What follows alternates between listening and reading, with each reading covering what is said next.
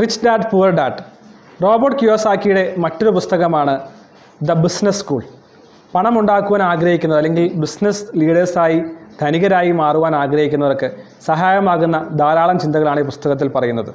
എന്താണ് വെൽത്ത് എന്നുള്ളതിനെക്കുറിച്ചാണ് നാം ആദ്യം അറിഞ്ഞിരിക്കേണ്ടത്. രണ്ട് കാര്യങ്ങളാണ് നാം എത്രമാത്രം വെൽത്ത് ഉള്ളവരാണ് അല്ലെങ്കിൽ റിച്ച് ആണ് മോണിറ്ററി ടേംസിൽ നാം മനസ്സിലാക്കേണ്ടത്. ഒന്ന് നമ്മുടെ ബാങ്കിൽ എത്ര ഡെപ്പോസിറ്റ് ഉണ്ട്. നാം എത്രമാത്രം മണി കീപ്പ് ചെയ്യുന്നു എന്നുള്ളതാണ് പ്രധാനപ്പെട്ട കാര്യം. രണ്ടാമത്തെ കാര്യം നിങ്ങൾ എത്ര ദിവസം പണത്തെക്കുറിച്ചുള്ള ആവലാതി ഇല്ലാതെ ജീവിച്ചു അല്ലെങ്കിൽ പണത്തിന് സ്കേഴ്സിറ്റി ഇല്ലാതെ ജീവിച്ചു എന്നുള്ളതാണ് കാര്യം. ഉദാഹരണം പറഞ്ഞാൽ രണ്ടായിരം രൂപ നിങ്ങളുടെ ബാങ്കിലുണ്ട്.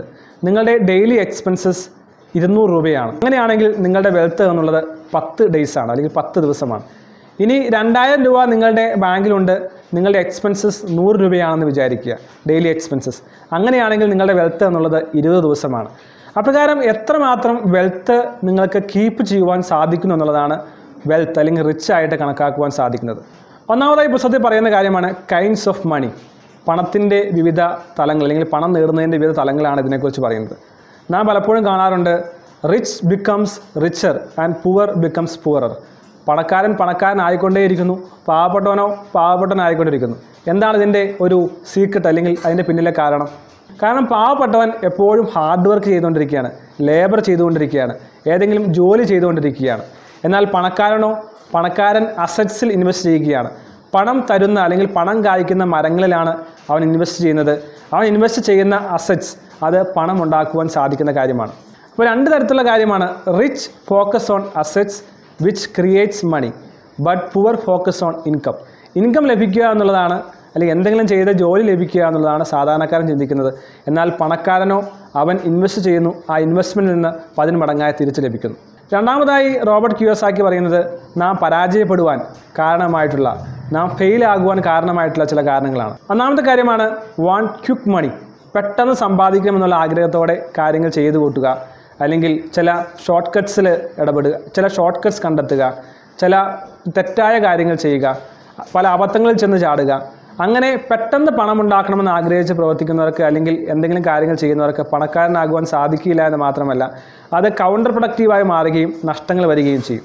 രണ്ടാമത്തെ കാര്യമാണ് lack of knowledge in tax loopholes ഈ റോബർട്ട് ക്യൂസാക്കിന്റെ എല്ലാ പുസ്തകത്തിലും പറയുന്ന കാര്യമാണ് ടാക്സ് സേവ് ചെയ്യുവാൻ സാധിക്കുന്ന കാര്യങ്ങൾ നാം ചെയ്യണമെന്ന്. അപ്രകാരം ടാക്സ് സേവ് ചെയ്യുവാൻ അല്ലെങ്കിൽ ടാക്സിന്റെ ലൂപ്പ് ഹോൾസ് അറിയുവാൻ കഴിയുന്നില്ല എങ്കിൽ നാം ഫിനാൻഷ്യൽ മാനേജ്മെന്റിൽ ഫെയിലിയർ ആകുവാൻ സാധ്യതയുണ്ട്. മൂന്നാമത് സംഭവിക്കുന്ന കാര്യമാണ് ബൈയിങ് ലക്ഷൂറിയസ് സ്റ്റഫ്സ് വളരെ വില കൂടിയ വാഹനങ്ങൾ മേടിക്കുന്നു. വളരെ മികച്ച വിലയേറിയ വീടുകൾ പണിയുന്നു കെട്ടിടങ്ങൾ പണിയുന്നു. പക്ഷേ അതിൽ നിന്ന് ഒരു പത്ത് പൈസ പോലും നമുക്ക് ലഭിക്കുന്നില്ല. അതുകൊണ്ട് നാം ഇൻവെസ്റ്റ് ചെയ്യുന്ന കാര്യങ്ങൾ വളരെ ലക്ഷൂറിയസും പക്ഷേ അതിൽ നിന്ന് ഒരു ഇൻകം പോലും നമുക്ക് ലഭിക്കുന്നില്ല എങ്കിൽ തീർച്ചയായും നാം ധനികരാകുവാൻ സാധിക്കുകയില്ല ദരിദ്രരായി മാറുകയും ചെയ്യും. മൂന്നാമതായി റിച്ച് ആകുവാൻ ആഗ്രഹിക്കുന്നവർക്ക് റോബർട്ട് ക്യൂസാക്കി നൽകുന്ന ഒരു ചിന്തയാണ് selling selling is the golden skill to run your business എന്നാണ് റോബർട്ട് ക്യൂസാക്കി പറയുന്നത്. നിങ്ങളുടെ ഒരു പ്രൊഡക്റ്റ് ആകട്ടെ സർവീസ് ആകട്ടെ അല്ലെങ്കിൽ നിങ്ങളെ തന്നെ ആകട്ടെ എങ്ങനെ നന്നായി വിൽക്കാം അല്ലെങ്കിൽ മാർക്കറ്റ് ചെയ്യാമെന്നുള്ള അറിവും കഴിവും നിങ്ങൾക്കുണ്ടായിരിക്കണം. ഉദാഹരണം പറഞ്ഞാൽ നിങ്ങളൊരു ഇന്റർവ്യൂവിന് പോവുകയാണ്. ആ ഇന്റർവ്യൂ ബോർഡിന് മുമ്പിൽ നിങ്ങൾ നിങ്ങളെ തന്നെ സെല്ല് ചെയ്യുകയാണ്. അതുപോലെ തന്നെയാണ് നിങ്ങളുടെ പ്രൊഡക്ട്സും സർവീസസും എങ്ങനെ മറ്റുള്ളവർ മുമ്പിൽ നിങ്ങൾ മറ്റുള്ളവരുടെ മുമ്പിൽ നിങ്ങൾ പ്രസന്റ് ചെയ്യുന്നു അത് സെല്ല് ചെയ്യുന്നു എന്നുള്ളത്. തീർച്ചയായും ഈ art of selling the golden skill of selling എന്നുള്ളത് നമ്മുടെ ജീവിതത്തിൽ ഉണ്ടായിരിക്കേണ്ടതാണ്. ലോൺലി ആയിട്ടിരിക്കുന്ന ആളുകളെ ആരും ശ്രദ്ധിക്കുകയില്ല അവർ പരാജയപ്പെട്ടു പോവുകയും ചെയ്യും.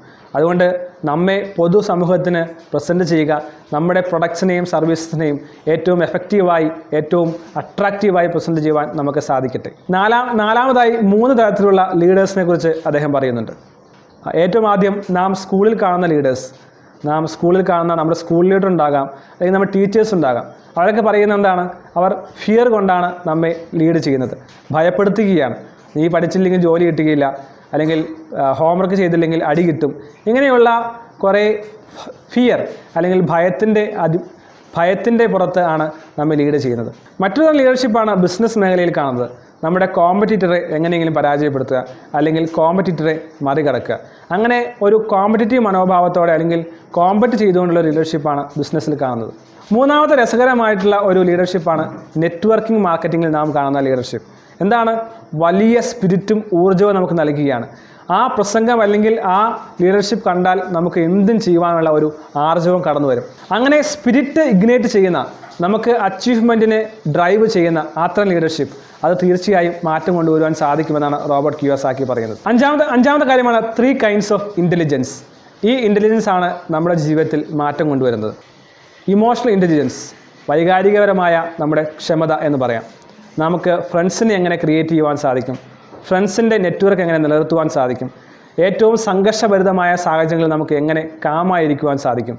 പീസ്ഫുള്ളായി നമുക്ക് എങ്ങനെ ജീവിക്കുവാൻ സാധിക്കും? ഇതാണ് ഇമോഷണൽ ഇന്റലിജൻസ് അല്ലെങ്കിൽ ഇന്റലിജൻസ് കോഷ്യന്റ് എന്ന് പറയാം. അത് നമ്മുടെ കഴിവാണ് നമ്മുടെ കാര്യപ്രാപ്തിയാണ്. മൂന്നാമത്തെ കാര്യമാണ് ഫിനാൻഷ്യൽ ഇന്റലിജൻസ് നമ്മുടെ ഫിനാൻസ് മാനേജ്മെന്റിനെ കുറിച്ചുള്ള അറിവും നോളജും അത് നടപ്പിലാക്കുവാനുമുള്ള പ്രാപ്തി.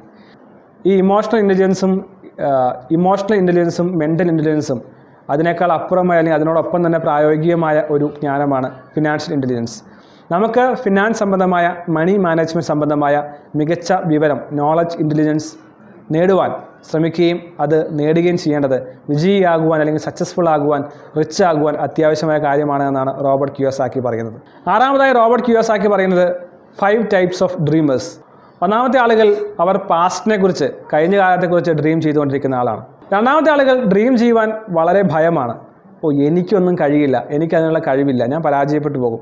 അങ്ങനെ പേടിച്ചുകൊണ്ട് അവർ ഡ്രീം ചെയ്യാതിരിക്കുന്ന ആളുകളാണ്. മൂന്നാമത്തെ ആളുകൾക്ക് നല്ല ഡ്രീം ഉണ്ടായിരുന്നു. അവർ ഡ്രീം ചെയ്തു ആ കാര്യം നേടി. ഇപ്പോൾ റെസ്റ്റ് ചെയ്യുകയാണ്. പുതിയതായിട്ടുള്ള ഒരു ഡ്രീംസും അവർക്കില്ല. നാലാമത്തെ ആളുകളാണ് വല്ലാത്ത ഡ്രീംസ് ഉണ്ട്. വലിയ ലക്ഷ്യങ്ങൾ നേടണമെന്ന് ആഗ്രഹമുണ്ട്. അതിനുള്ള ഡ്രീംസും എല്ലാം ഉണ്ട് പക്ഷേ അത് പ്ലാൻ ചെയ്തിട്ടില്ല എക്സിക്യൂട്ട് ചെയ്യുവാൻ സാധിക്കുന്നില്ല. എന്നാൽ അഞ്ചാമത്തെ ഡ്രീമേഴ്സാണ് അച്ചീവേഴ്സ് അവർ നന്നായി പ്ലാൻ ചെയ്യുന്നു എക്സിക്യൂട്ട് ചെയ്യുന്നു. ആ ഗോൾസ് അത് പൂർത്തിയാക്കുന്നു. പിന്നീട് അടുത്തതിലേക്ക് മാറുന്നു. അത് ഇങ്ങനെ തുടരെ ഒരു സൈക്കിൾ പോലെ ഡ്രീംസ് കാണുകയും എക്സിക്യൂട്ട് ചെയ്യുകയും അച്ചീവ് ചെയ്യുകയും ചെയ്യുന്ന അച്ചീവേഴ്സ് അപ്പോൾ റിച്ച് ആകുവാൻ ആഗ്രഹിക്കുന്നെങ്കിൽ സക്സസ്ഫുൾ ആകുവാൻ ആഗ്രഹിക്കുന്നെങ്കിൽ ഒരു അച്ചീവർ മൈൻഡ് സെറ്റ് അല്ലെങ്കിൽ അച്ചീവർ എന്നുള്ള ഡ്രീമർ സെറ്റിലേക്ക് നാം കടന്നു വന്നാൽ മാത്രമേ സാധിക്കൂ എന്നുള്ളത് സാധിക്കുകയുള്ളൂ എന്ന് ഈ പുസ്തകം നമ്മെ പഠിപ്പിക്കുകയാണ്. ഈ പുസ്തകത്തിൽ നമ്മളെ ചിന്തിപ്പിക്കുന്ന ധാരാളം കൊട്ടേഷൻസ് അല്ലെങ്കിൽ കോച്ച്സ് നമുക്ക് കാണുവാൻ സാധിക്കും. It is more important to grow your income than cut your expenses it is more important to grow your spirit than cut your dreams expenses cut ചെയ്യുന്നതിനേക്കാളും നമ്മുടെ ഇൻകം കൂട്ടുവാനായിരിക്കും നാം ശ്രമിക്കേണ്ടത്. നമ്മുടെ ഡ്രീംസിന് വേണമെങ്കിൽ നമുക്ക് കട്ട് ചെയ്യാം പക്ഷെ നമ്മുടെ മൈൻഡിനെ ഗ്രോ ചെയ്യുവാൻ നമ്മുടെ സ്പിരിറ്റിനെ ഗ്രോ ചെയ്യുവാൻ നാം ഒരിക്കലും തടസ്സമായി നിൽക്കരുത്. Don't be addicted to money work to learn don't work for money work for knowledge പണത്തിന് അടിമപ്പെട്ടു പോകരുത്. പണത്തിന് അടിമയായി പോകരുത്. പണത്തിന് വേണ്ടി ജോലി ചെയ്യരുത്. പണം നമ്മിലേക്ക് വരും. നാം നോളജ് അക്യൂർ ചെയ്യുവാൻ സ്കിൽ അക്യൂർ ചെയ്യുവാൻ ശ്രമിക്കുക എന്നാണ് റോബർട്ട് ക്യൂസാക്കി പറയുന്നത്. മറ്റൊരു കാര്യമാണ് the fear of being different. Prevent most people from new ways to seeking new ways to solve the problems. പുതിയതായിട്ട് അല്ലെങ്കിൽ വ്യത്യസ്തമായിട്ട് കാര്യങ്ങൾ ചെയ്യുവാൻ മടിയുള്ളത് കൊണ്ട് തന്നെ അല്ലെങ്കിൽ പേടിയുള്ളത് കൊണ്ട് തന്നെ അവർക്ക് പുതിയതായ കാര്യങ്ങൾ ചെയ്യുവാനായിട്ട് സാധിക്കുന്നില്ല എന്നാണ് റോബർട്ട് ക്യോസാക്കി പറയുന്നത്. അതുകൊണ്ട് പുതിയ കാര്യങ്ങൾ ചെയ്യുവാനായി നമ്മെ തന്നെ പ്രാപ്തരാക്കുക അല്ലെങ്കിൽ ഡെയറിംഗ് ആയിട്ടുള്ളൊരു മൈൻഡ് സെറ്റ്സ് ഉണ്ടാകുക എന്നുള്ളതാണ് നാം മനസ്സിലാക്കേണ്ടത്. Winners are not afraid of losing but losers are failure is the part of the process of the success people who avoid failure are always avoid success പരാജയം എന്നുള്ളത് അല്ലെങ്കിൽ പരാജയം എന്നുള്ളത് നമ്മുടെ ജീവിതത്തിന്റെ ഭാഗമാണ്.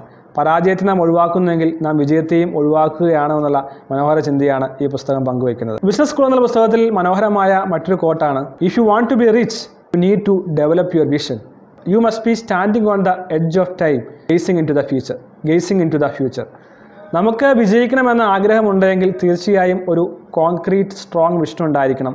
അത് ഫ്യൂച്ചറിലേക്കുള്ളതായിരിക്കണം. അങ്ങനെ ഫ്യൂച്ചറിലേക്ക് നാം നടന്നു നീങ്ങണം ഇങ്ങനെ മനോഹരമായ ചിന്തകൾ നൽകുന്ന ഒരു പുസ്തകമാണ് റോബർട്ട് ക്യൂസാക്കിയുടെ ദ ബിസിനസ് സ്കൂൾ എന്നുള്ള പുസ്തകം. തീർച്ചയായും വായിക്കുക. നല്ല വായനാനുഭവം നേരുന്നു